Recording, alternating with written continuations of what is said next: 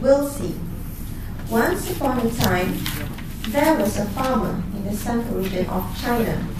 He didn't have a lot of money and instead of a tractor, he used an old horse to plow to plow his field.